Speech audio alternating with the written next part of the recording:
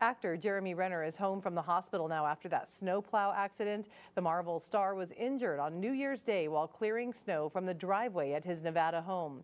According to the 911 call log, Renner's upper torso was crushed by a snowcat vehicle. He underwent two surgeries and continues his recovery.